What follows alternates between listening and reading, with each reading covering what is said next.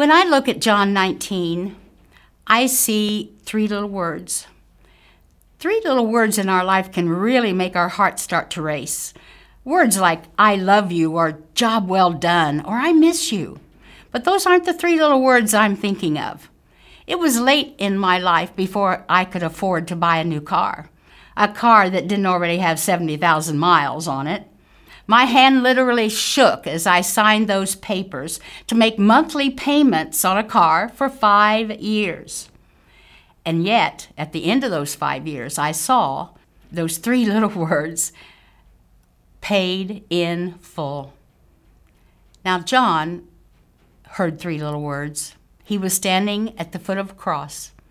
And on that cross was Jesus, whom he believed with everything was the promised Messiah. And the words he heard, it is finished. Literally meaning paid in full.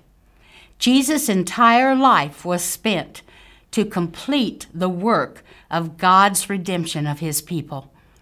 And he completed that work. My name is Susie Baker, and I am an eyewitness.